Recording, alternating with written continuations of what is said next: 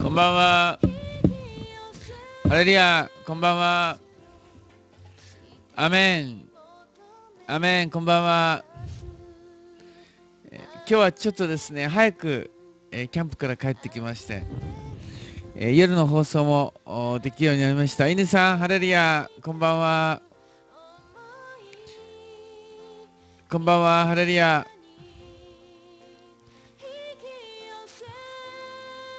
はい、今日はですね、えー今日の朝はですね、あのキャンプ地から、えー放送できました。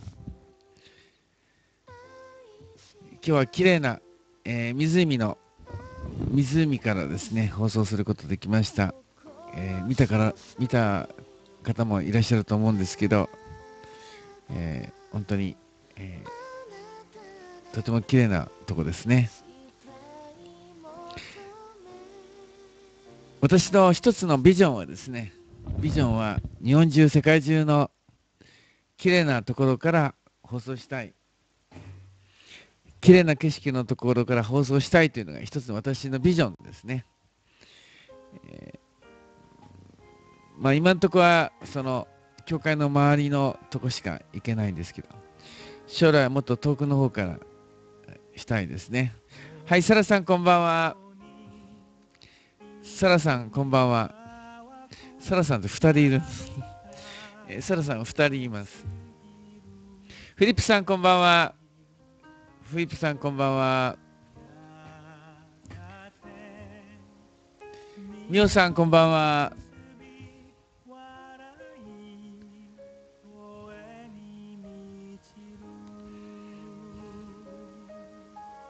神が作った丹沢湖と言ってたけど人工湖で、はい、人工湖ですね。人工湖。ちょうど Q ちゃんの TS を見てました。アメン、ありがとうございます。もちろん人工湖ですけどね。人工湖ですけど、その環境と言いましょうか。えー環境は神様が作られた自然ですよね。まあ、その湖をつく作ったというよりも、あのせきせき止めたということですよね。えーせき止めて、せき止めて湖ができたという感じでしょうか。ルデアさん、えー今朝の放送、今さっきまでタイムシフトで見てました。ありがとうございます。えーたくさんの方がですね、えータイムシフトを見てくれて、えー綺麗な湖を見てくださって本当に嬉しいです。私もね、あの、とても綺麗なところに行って、えーまあ、2日だけですけど、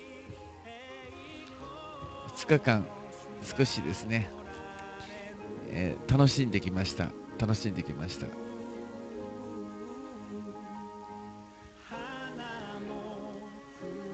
やはりでも、えー皆さんに放送できたことが一番良かったです。皆さんにあの放送できたことが一番良かったです。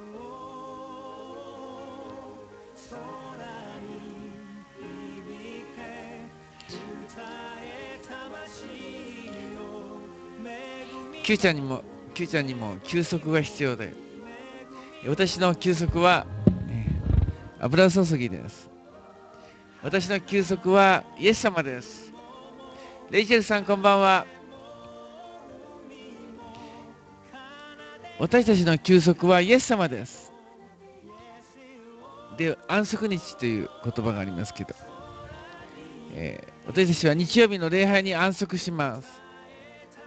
日曜日の礼拝に安息します。ちょっとあれですね。あの調子悪いですね。またそうツイキャス調子悪いです。申し訳ありません、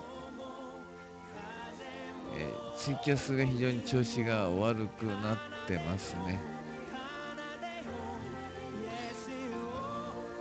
すいませんツイキャスの方が調子悪いです美しい丹沢湖での録画を見ていたところです。あ、安住さんもそうですか。ありがとうございます。Q ちゃんの放送ありがとうございます。ルデアさん、アメン。アメン。今日世界に行ってみましたが、油すぎがすごかったです。ああ、そうですか。えっと、どんな、どんな集会行かれたんでしょうか？どんな集会でしょうかね？はい。どんな集会行かれましたでしょうか？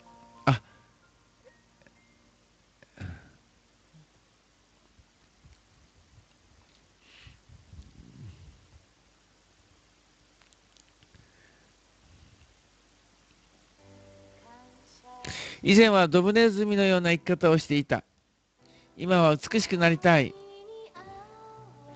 今は美しくなりたい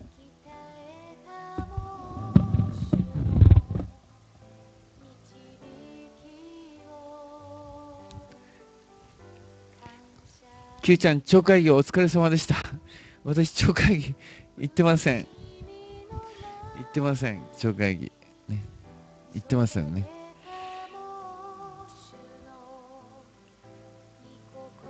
はい、それではですね、早速タイトルいきましょうね。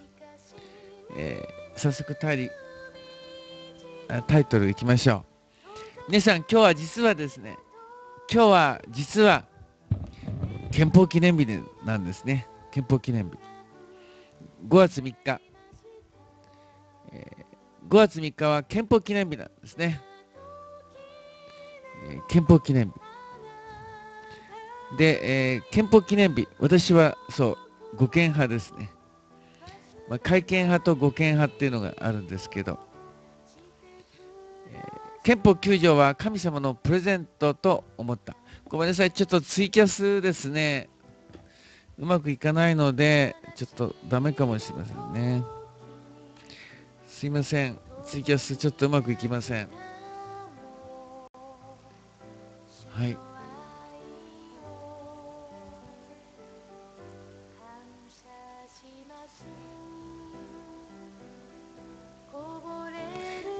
そして、えー、そのとニュースがありましてですねあのどういうニュースかというと毎日新聞だったかな。えっ、と毎日新聞であの憲法9条についての世論調査世論調査があるんですね。ちょっと貼りますけどこれがそうなんですけど。えー、まあ、いろんな世論調査があってですね、どれが正しいかよくわからないんですけど、まあ、これは毎日新聞ですけど、えー、改正すべきだと思わないという人が52%で半数を超えている。で、改正をすべきだと思う人は27%ということですね。えー、改正すべきだと思わないが52%だそうです。えー、改正すべきというのが27%。ねえー、ですから、あのまあ、52対27で改正すべきだとは思わない人のが多いというのが、まあ、毎日新聞です。まあ、NHK は逆みたいですね。NHK はなんか改正すべきだというのが多いのかな。ちょっとなんか怪しいですね。どっちが正しいんだかわかんないんですけど。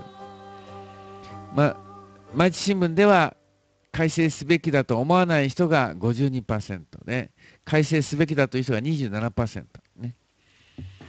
えー、嬉しいですね。で、えー、私はですね、なぜ、まあ、護憲か、護憲派なのかということをちょっと説明したいんですけど、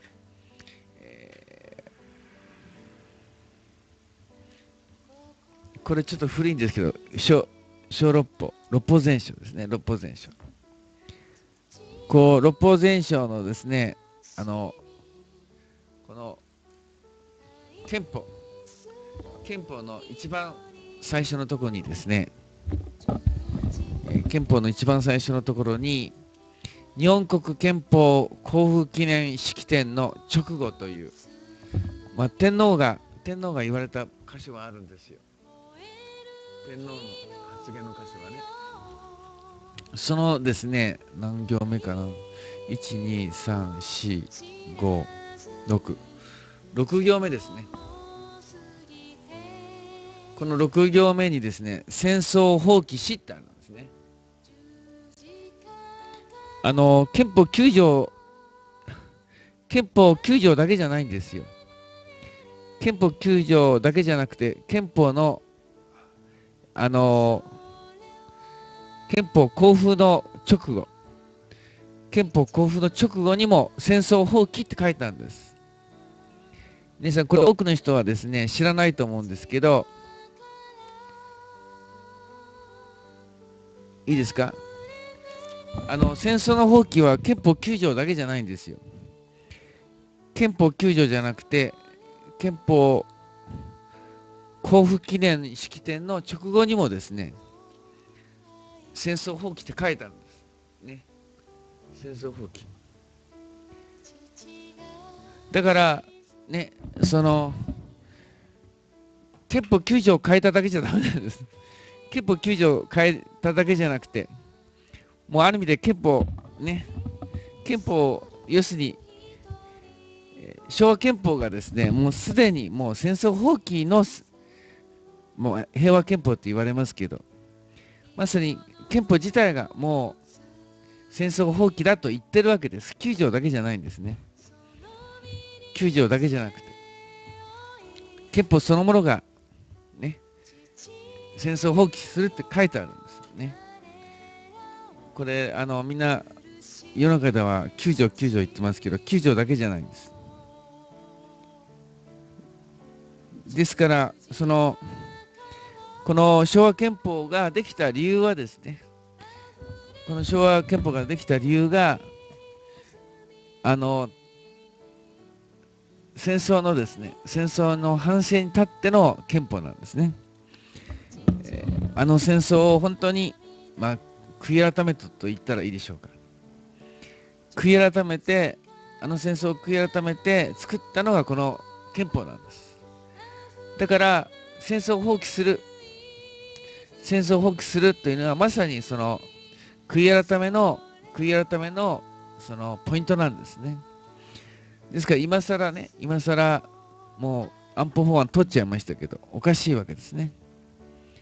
安保法案憲法違反なんですよ。安保法案憲憲法違反。で、えー、ちょっと憲法9条も見てみましょうね、皆さん。憲法記念日ですから。憲法9条見ましょう。えっと、どういうふうに見ましょうかね。ちょっと私が読めるように見ましょうね。憲法9条。えー、皆さん、憲法9条見たことがない人もいると思うので、憲法9条。いいですか？見えますか？戦争の放棄。戦争、第2章、戦争の放棄。まあ、これが憲法の目玉だということですね。憲憲法の日本、日本国憲法の目玉が憲法9条です。ね。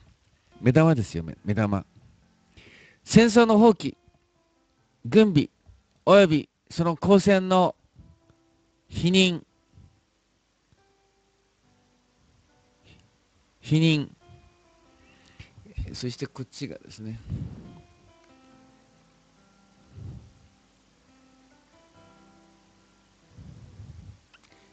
えっと、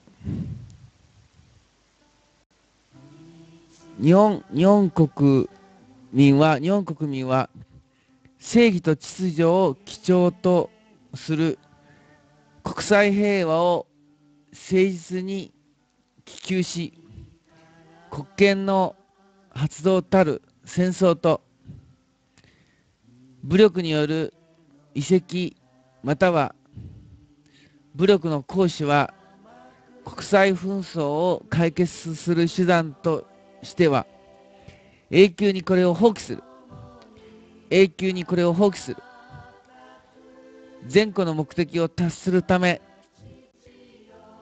陸海空軍そのその他の戦力はこれを保持しない。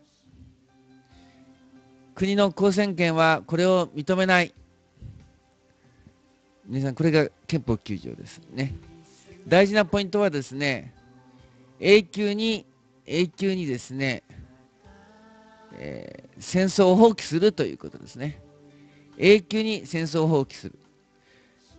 あの、永久に戦争を放棄するっていうのに、またですね、あの、戦争ができる、安保法案できるっておかしいでしょうね。永久に放棄するって書いてあるんです。永久、永久に放棄するというのはなぜまた今更なんですか？皆さん、えー、永久に放棄するって書いてあるんですよ、皆さん。永久に放棄する。ね。皆さん。だから永久に放棄しましょう。戦争を永久に放棄する。ね、素晴らしい。素晴らしい。そしてですね、あの、これをですね、えっ、と、こう書いてあるんですよ。えっと、うーんと、世界にですね、あ、ここかな？ちょっと、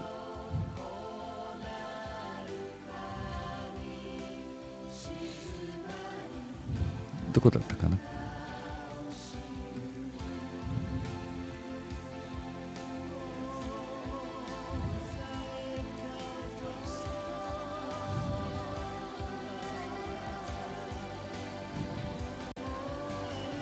えー、日本国民は日本国憲法の全文全文あたりなんですけども、えー、日本国民は高級の平和を祈願し人間相互の関係を支配する崇高な理想を深く自覚するのであってつまりですねあの戦争を放棄するという戦争を放棄するという崇高な理想を深く自覚すると書いてあるんです。つまり憲法の憲法の全文自体がいいですか？憲法の全文自体がもうすでに戦争放棄だって言ってるわけです。戦争、戦争交付記念式典の直後も戦争放棄って書いてあるし、それから日本国憲法の全文にもですね、戦争放棄のことが書いてあるんです。だから憲法9条だけをいじるってのはおかしいです。憲法9条だけいじるんじゃなくて、もう憲法そのものがですね、もう戦争放棄なんですね。憲法そのものがけ戦争放棄なんですよ、皆さん。だから、ね、皆さん、これはあの安保法案とんでもない法律だってこと、これ分かるでしょ？安保法案とんでもない法律なんです。もう憲法無視なんですね。違憲なんです、違憲。憲法学者は、憲法多くの憲法学者は、あの安保法案のことを違憲だと言ってるわけですね。安保法案のこと違憲だと言っています。ね、ですからぜひ皆さん、えー、その私たちの憲法は素晴らしい憲法だ。ねまあ、その戦争を放棄するという、戦争を放棄するという素晴らしい憲法を日本は持ってるんだということです。皆さん、そのことをね、せっかくの素晴らしい憲法をですね、えー、ないがしろにしてるんですね。素晴らしい憲法をないがしろにしています。そして実のところ、いいですか？実のとこ、ここからが大事ですよ、ここからがね。で、実のところ、この戦争放棄というのは、いいですか？戦争放棄というのは、まあ、信仰的に考えると、まあ、罪を、ね、罪を、まあ、取ってもらうっていう感じなんですね。罪を取ってもらう。つまり私たちは罪人でしょ？罪があるから喧嘩するわけです。罪があるから戦争する。だから戦争放棄というのは、ある意味では、その罪を取るということなんですけど、でも、皆さんご存知のように、罪を取ることができるのは十字架だということですね、十字架。つまり、日本国憲法はまさに十字架なくしてはありえないということですね。えー、罪がある人がね、罪がある人が戦争放棄ができないということですね。つまり、えー、十字架によって初めて日本国憲法が成り立つ。ね、日本国憲法はまさにその罪を取ってもらうということですね。悪魔との戦いは放棄できません。もちろん、あの、霊的戦いはしますよ。霊的戦いはしますね。霊的戦いのことを言ってるのではありませんね。霊的戦い放棄しませんよ。私たちは、その、罪による戦いというね、悪意とか敵意を捨てるということです。悪意とか敵意を捨てるという意味で、それはまさに日本国憲法というのはまさに、まあ、敵を捨てましょうということですね。日本国憲法っていうのはまさに敵を捨てましょうということで。だからそれができるのは、それができるのは十字架だけなんだということです。つまり日本国憲法は十字架によって初めて成り立つ憲法。十字架によって初めて成り立つ憲法だということですね。はい。えー、J さんからコメントが来ました。Q ちゃんこんばんは。家族旅行でお疲れであるにもかかわらず、今晩も電動放送している Q ちゃんは、麻生家の父親として、えー、LTL キリスト教会の牧師として、先日のニコニコ超会議は、ネット来場者数が200万人以上も、えー、激減するという結果になりました。あ、そうなんですか。超会議開催前に私がこの放送、電動放送で予告していた通りの激減でした。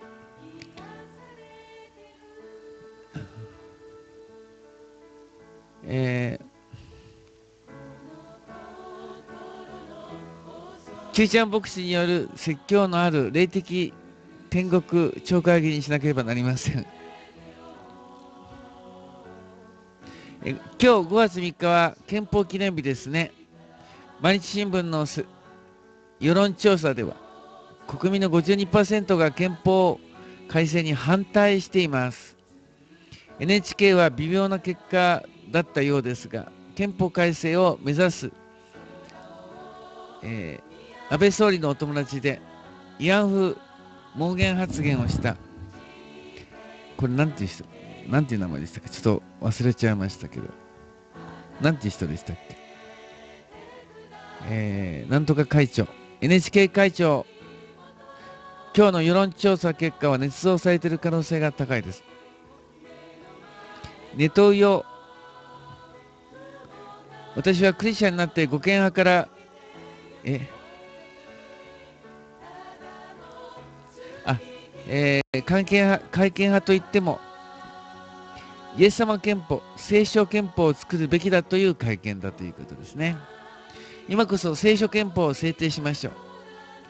霊的聖書憲法による霊的平和主義、全世界が聖書憲法によって戦争放棄する世の中を実現させましょう。聖書憲法の始まりは、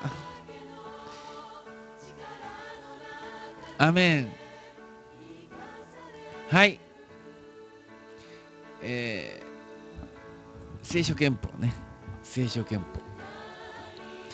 皆さん、えっ、ー、と、結局ですね、その日本国憲法は、その、えー、罪を持ってはいけない、罪を、えー、持ってはいけないという、憎んではいけない、ね、憎んではいけない、嫌ってはいけない、敵意を持ってはいけないということなんです。戦争を放棄するっていうのは、そういうことなんですね。戦争を放棄しようというのはそういうことです。そういうわけで、えー、日本国憲法というのは、とても聖書的だということですね。とても聖書的。ですから、ぜひ皆さん、えー、私たちはこの日本国日本国憲法を、えー、大事にするべきだということですね。そして今日のタイトルですが、神の言葉が憲法だというのは、結局憲法というのは大事な真理と言ったらいいでしょうか。大事な基本、基本じゃないですか。で、その大事な基本は一体何なのかということですけど。大事な基本は神様の言葉なんですね。神様の言葉が基本なんです。私たちは聖書を学んでますけど、この聖書が神の言葉です。この聖書が神の言葉なんですけど、えー、この聖書の言葉をですね、えー、聖書の言葉を私たちは神の言葉として大事にします。そしてこの聖書の言葉が私たちの基本なんですね。基本です。聖書の言葉が基本です。そしてこの聖書の言葉が私たちの生活の憲法ですね。えー、私たちの生活の憲法。それは神の言葉です。そして私たちはイエス様の言葉。イエス・キリストの言葉が神の言葉と、えー、信じます。イエス・キリストの言葉が神の言葉。イエス・キリストの御言葉。イエス・キリストの御言葉が神の言葉。そのように私たちは信じます。ですからぜひ皆さん、この今日は憲法記念日ですけど、日本の憲法と聖書と関係があるんだ。そして、その憲法が国にとって大事なことのように、神の言葉が人間にとってとても大事なんだということです。聖書を知らないということは、その人は、ね、罪で生きているということですね。罪で生きている。自己中で生きている。敵意で生きてる。聖書の言葉がなければ、その人の心は、ねえー、罪に、罪で生きているということですね。罪で生きている。ですから皆さん、えー、イエス様の御言葉をしっかり心に刻みましょう。イエス様の言葉が憲法です。イエス様の御言葉を守る。それは罪じゃなくて、えー、正義で生きる。正義で生きる。正しさを求めてるということですね。はい。それじゃあですね、えー、今日のタイトルはそういう感じですが、えー、ですから、この、最近はですね、この2年、2年かな、今年で3年目なんですけど、あの、憲法、憲法9条がですね、ノーベル平和賞にノミノミネートされています。多分今年もノミネートされてるんだと思うんですが、えー、去年はですね、かなりいい線いってたんですね、いい線。まあ、5本の指の1つぐらいにまで行ったんですけど、まあ、平和賞を受賞してほしいと思いますね。日本国憲法がノーベル平和賞を受賞してほしいと思いますが、まあ、受賞しないとしてもですね、毎年毎年ノミネートされると思いますね。毎年、えー、ノーベル平和賞、ね、ノミネートされると思います。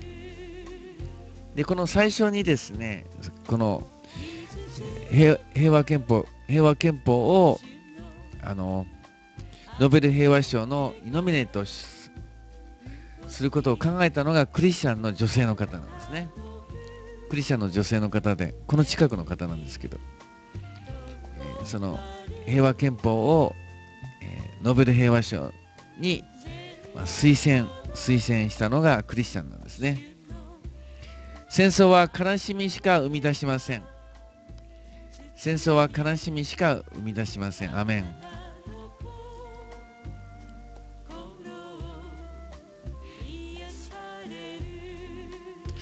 もう、あの、戦争終わって、戦争終わって70年ですよね。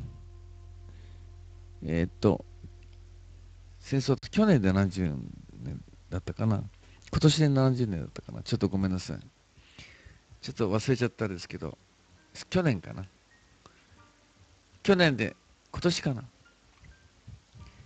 去年かな。すいません。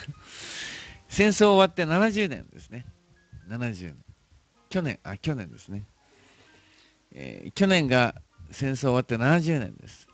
ね、だから、まあ、ある意味では70年平和だったわけですけど、70年平和だったんですけど、でも逆にちょっと平和をボケしちゃって、あの平和の平和の尊さが平和の尊さが忘れられてしまったんではないでしょうか。えー、私たちは、えー、戦争の悲惨さ、戦争の残酷さ、戦争はまさに破壊破壊しかないんだ。死しかないんだという、えー、私たちはその戦争を放棄する。戦争を放棄するということがどれほど大事なことか。私たちは、えー、多くの人がそれの理解が必要だと思いますね。理解が必要です。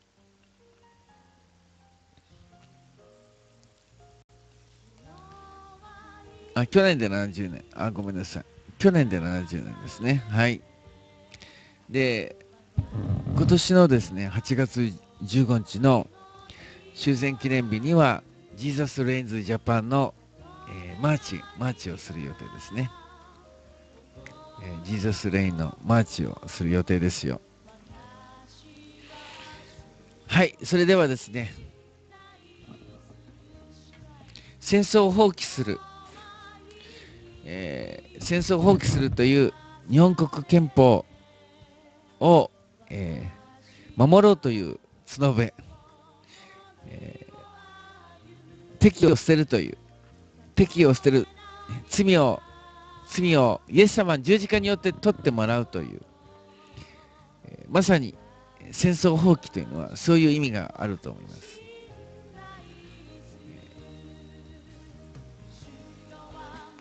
日本国憲法、日本国憲法を守る角笛、日本国憲法の、ね、を守る角笛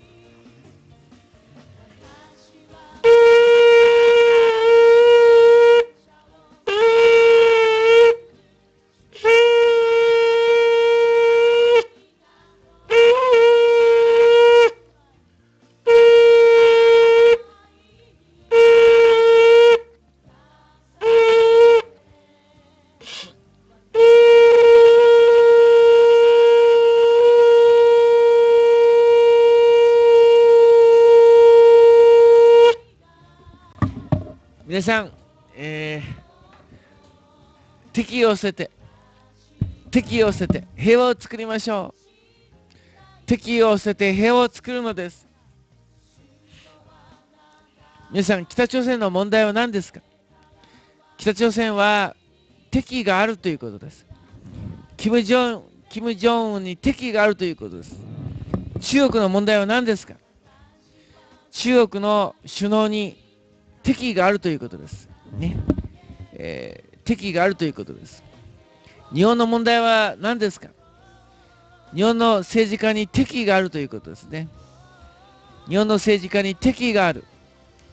だから、ね、だから敵意があったからこそ戦争があったんです。70年前に戦争が終わりましたけど、その戦争は敵意があったから、敵意があったから戦争があったんです。だからこそ憲法は憲法はその敵を捨てましょうということですね。戦争放棄というのは敵を捨てましょうということです。しかし敵を捨てるには十字架が必要だということです。十字架によって初めて敵意がなくなるということです。つまり憲法9条というのは憲法9条というのは十字架が必要だということですね。十字架が必要だ。十字架がなければ、憲法、敵意がなくならない。十字架がないと、十字架がないと敵意がなくならない。イエス様の血潮によって、初めて敵意がなくなるんです。皆さんが悔い改めて、悔い改めて、イエス様を信じるときに、敵意がなくなるんです。それが本当かどうか、それが本当かどうか、明石タイムで明石しましょう。明石タイムで明石しましょう。いきますよ。いいですか？皆さん。用意はいいですか？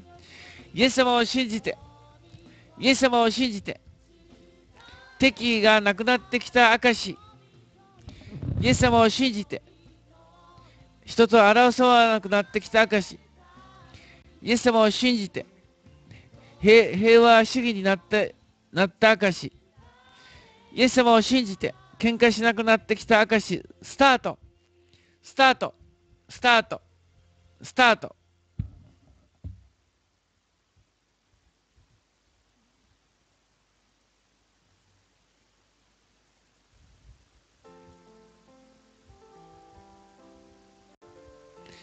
洗礼を受けてから風を吹きません。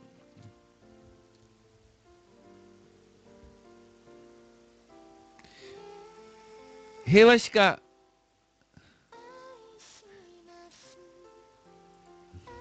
平和しか願いません。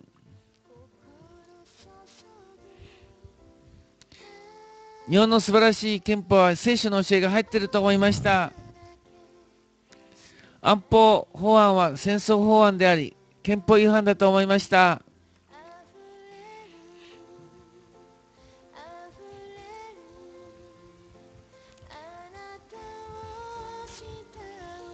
イエス様が大好きです。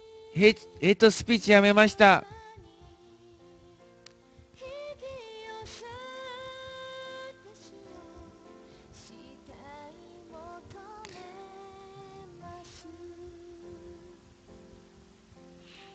イエス様のように人を愛したい。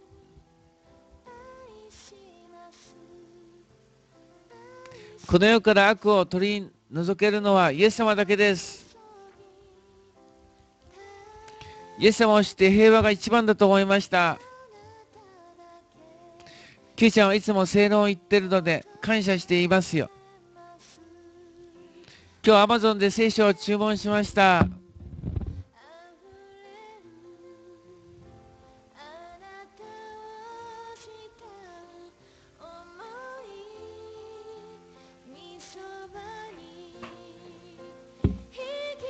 無抵抗無抵抗こそ愛だと思いました。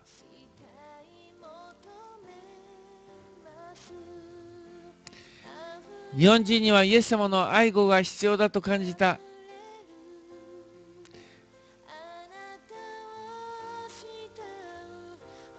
神様は本当に人間を愛してくれてると分かった。天皇崇拝をやめようと思った。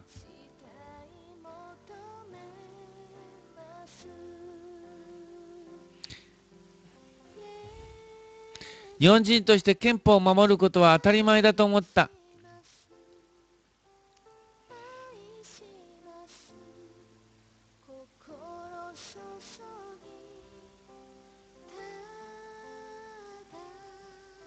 以前はゲイでしたが、今はイエス様の、イエス様が一番の恋人です。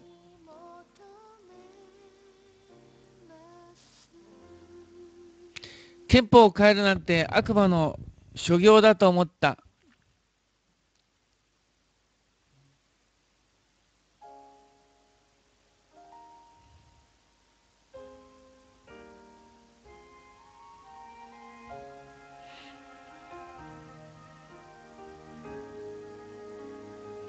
今日も油注ぎの超電動が見られて最高です。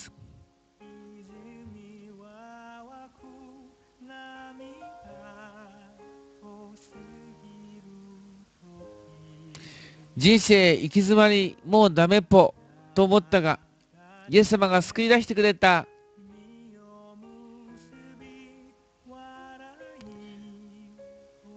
いや私にはイエス様しかもういない。私にはイエス様しかもういない。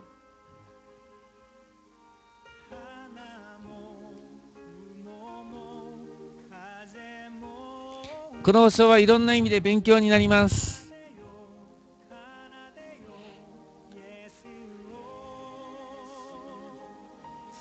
今日の湖のように広い心を持ちたい。今日の湖のように広い心を持ちたい。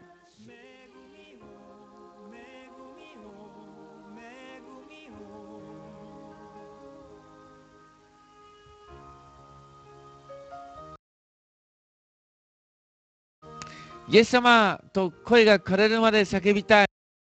アメン。アメン。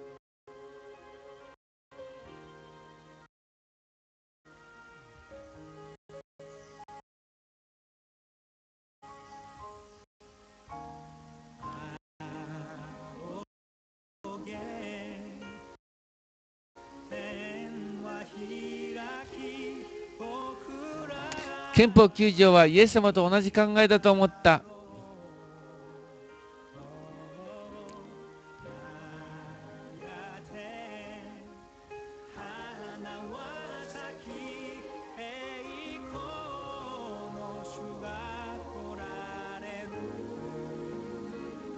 十字架を見せてください。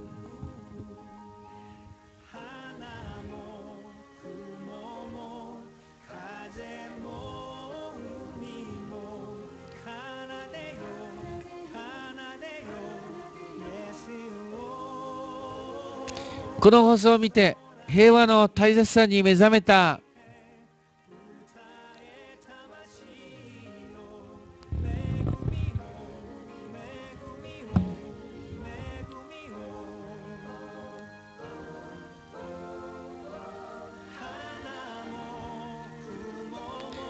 日本のためには戦争できないと思いました。無抵抗でいきます。この放送を見て心が現れました。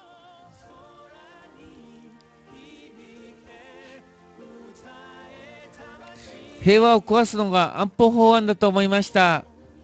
ニートでも生きていいんだと思った。こんな僕でも生きていいんだと思った。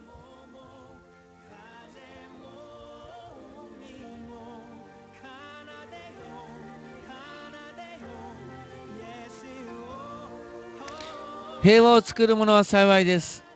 その人は神の子供と呼ばれるからです。アメン。平和を作りましょう。平和を作りましょう。敵を捨てて、敵を捨てて平和を作りましょう。武器を全部捨てることが最高の国防だと分かりました。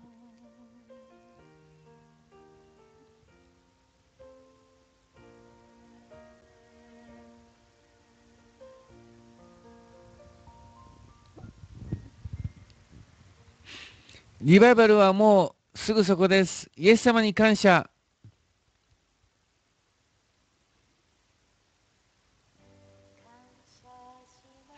毎日この放送がないと生きていけない。イエス様が本当に敵意を取ってくれると感じました。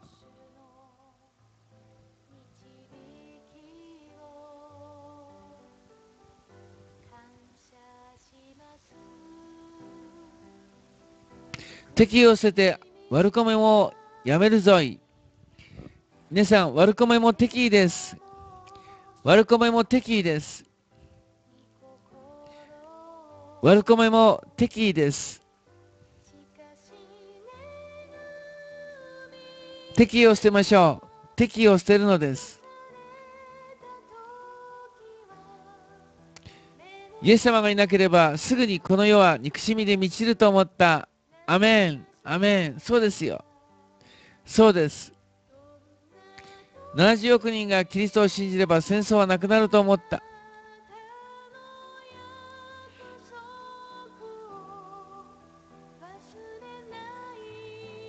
無抵抗が最大の防御だと思う。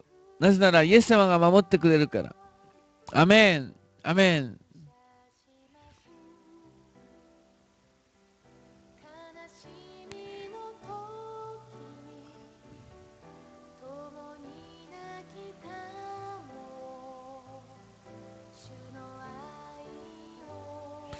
旧車ノートが44冊目になりました。ありがとうございます。アメン。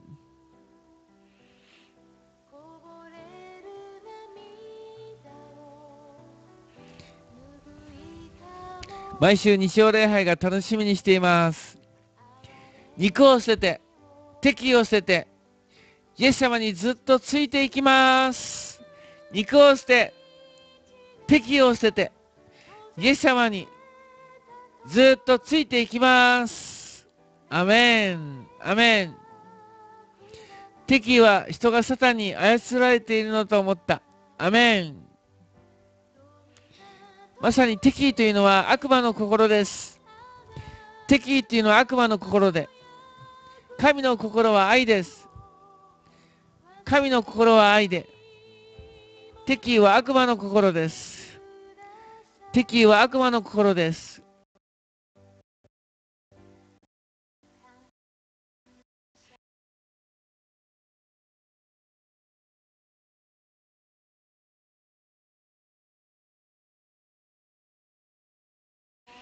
憲法9条は、その悪魔の心を捨てましょうと言ってます。憲法聖書山本今日の朝日放送を見て美しい景色だったので、タイムシフトを9回も見てしまいました。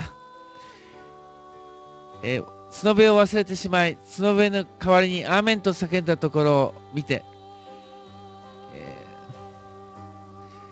ー、釣りをしていた人も信仰してほしいと思いました。あとバス停の前で放送するとバスが止まってしまうのでもう少し移動した方が良かったと思いました。今日のタイトルについてですが憲法9条は変えてはいけないと思いました。私たちは敵意を捨てて韓国と仲良くしなければいけないと思いました。以前は敵意があって韓国のことが嫌いでしたがイエス様を信じてから韓国のことが好きになってキムチが美味しく食べれるようになりました。アメン。アメン。あのイエス様を信じて韓国が好きになった方が多いんです。以前は韓国が嫌いだったけどイエス様を信じたら韓国が好きになった。まさにそれが敵がなくなったという証拠です。韓国が嫌いな人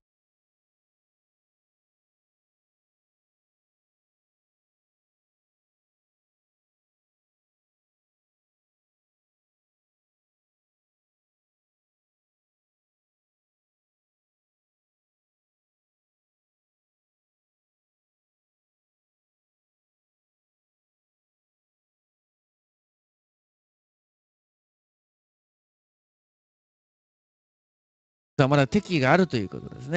ね韓国が嫌いな人ね、ちょっと待ってくださいちゃってるが、どうかわからない。あ、動きましたね。動きました。えー、止まってない。あ、止まってない。そうですか。じゃあですね、あの、えー、止まっていなかった。韓国が好きになった人、以前は韓国嫌いだったけど、韓国が好きになった人、手を挙げてください。以前は中国が嫌いだった。しかし今中国が好きになった人、手を挙げてください。韓国が好きになった方、手を挙げてください。アメリカが嫌いだったけど、アメリカが好きになった方、手を挙げてください。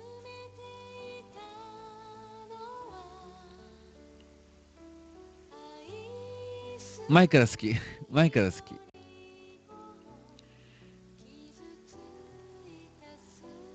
はい、フリップさんも好きです。アメン、アメン。アメン。ケちゃんのおかげで誤解が解けました。今は大好きです。アメン。素晴らしい。韓国は大好きになりました。アメン。罪がね、許されたんです。罪が許されたから、ね、隣国が好きになったんですね。敵がなくなったんです。敵がなくなったんです。アメン。これがまさに日本国憲法の本当の意味ではないでしょうか。日本国憲法の意味、それは平和憲法。ね、本当の平和。本当の平和。それは罪がなくなるということですね。罪がなくなる。それが本当の平和です。本当の平和ですね。本当の平和。それじゃあですね、どうしましょうかね。ファイナルメッセージいきましょうね。ファイナル、ファイナルメッセージ。そうですね。今日は憲憲法記念日。憲法記念日です。で、多くの人はですね、あまり憲法に関心がないかもしれませんね。えー、あの、あまり憲法に関心がないかもしれません。でも、憲法に関心を持つべきだと思いますね。憲法に関心を持つべき。そうでしょ、皆さん。法律で一番大事な法律なんですから。その全ての法律はですね、皆さん全ての法律は憲法を基礎としてあるわけでしょ憲法に反する法律は作っちゃいけないわけです。で、全ての法律がですね、憲法に即して作るわけです。ですから、憲法が大事なんですね。憲法が大事です。そして、その、神様の御言葉が永遠なように、神様の御言葉が永遠なように、憲法も、えその、原則としてですね、原則として、あまり変わっては、コロコロ変わってはいけないわけです。特にですね、戦争を放棄しようという、まさにそのそれが平和憲法だったわけですね。そのその永久に永久にさっきあったでしょ永久にこれを放棄するって書いてあるんです。いいですか？憲法9条にですね、戦争永久に見える？永久に放棄するって書いてあるんですよ。永久に放棄する。永久ですよ、皆さん。永久。B 級じゃないです。A 級です。A 級。ね。A 級に放棄するっていうのに A 級じゃないじゃないですか。もう A、もう、もう憲法違反ですね。憲法違反。永久に放棄するって書いてあるんですから、守りましょう、皆さん。憲法を守りましょう、皆さん。永久に放棄するって書いてあるんですから。つまり、戦後、戦前の戦前の考え方が戻ってきたということですね。戦戦前の考え方が戦後の戦後の考え方をもう一度ですね犯しているということです。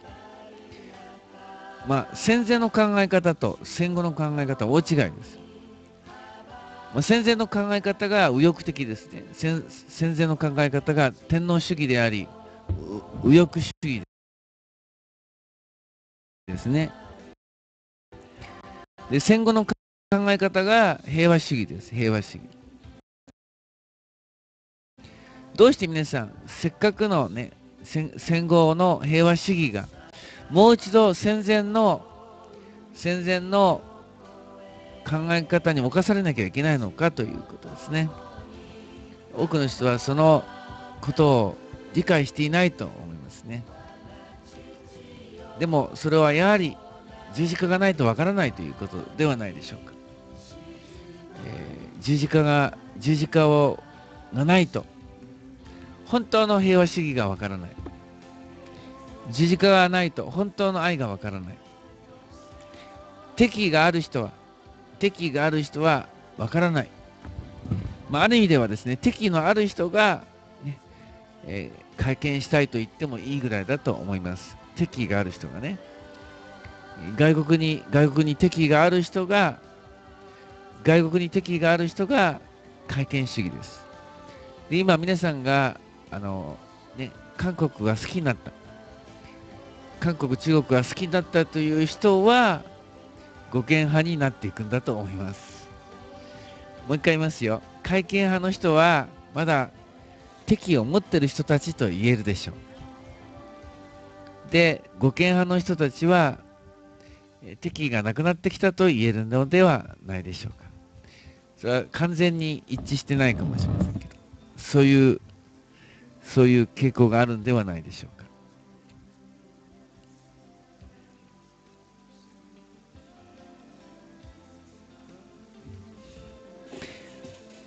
それではですね、ま、招きもういいかな。招きしましょう。招きします。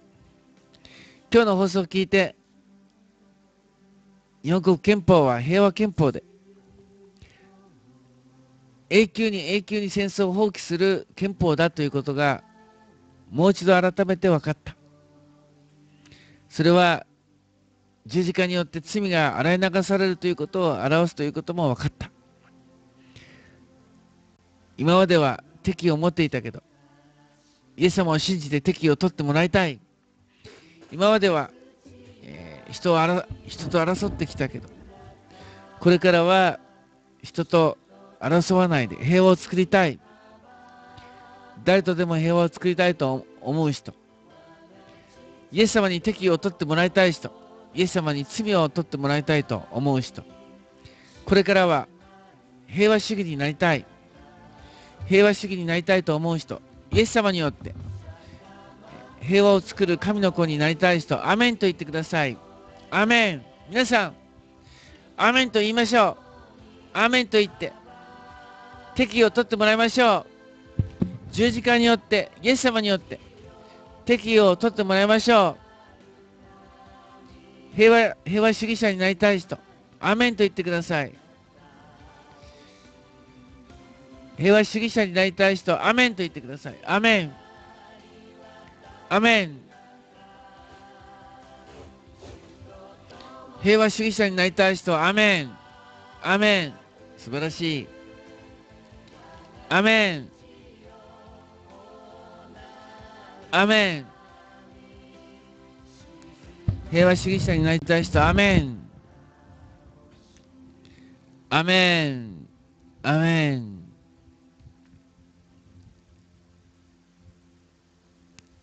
アメン。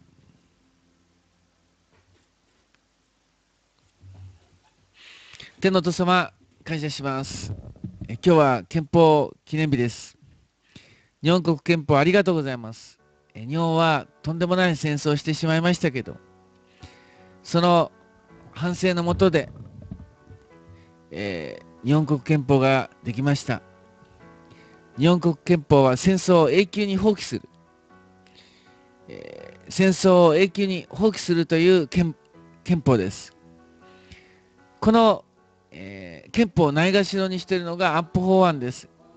なぜこんなとんでもないことが、えー、まかり通るのか、えー、日本はおかしくなってしまった。日本はおかしくなってしまった。えー、憲法学者も違憲だと言ってるのに、憲法学者が違憲だと言ってるものに、その違憲である法律がまかり通る、えー、おかしな国になってしまいました。いや、以前からおかしかったのかもしれません。もう戦争する時点でおかしかったのかもしれません。戦後70年経っても、戦後70年経っても戦前と同じ発想の国。イエス様、日本は十字架によってでしか救われない。十字架によってでしか日本は変わらない。敵意がなくならないというのが福音です。イエス様、どうぞ、えー、日本、日本人の多くの人が、イエス様を信じて敵意がなくなりますように。敵意がなくなって、平和主義者になりますように。イエス様、戦争に負けても、